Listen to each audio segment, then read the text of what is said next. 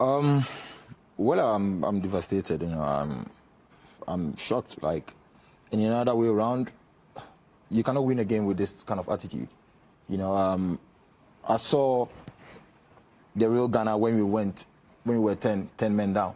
You know, they tried to give everything, which was good. You know, but it wasn't enough.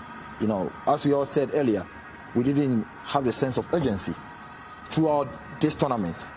You know, still we had 10 players on the field.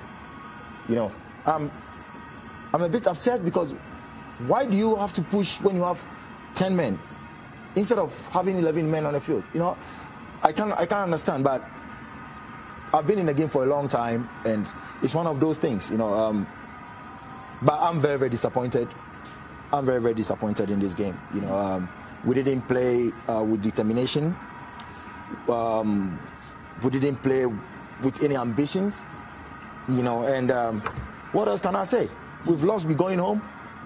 Everybody in Ghana will be disappointed. You know, but honestly, if we had gone home, like for example, what Algeria is doing right now, they created a lot of chances, but they, they, they, they lost games.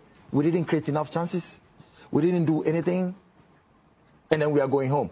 Then that is where people will be disappointed. You know, you have to give the people something to talk about. And we didn't give anything to talk about. You know, as we are talking, I don't know how people were going to feel back home. I'm very, very disappointed we are going out. We mm. shouldn't have gone out. Mm. You know, the Ghana we know, we didn't see the Ghana we know today. Mm.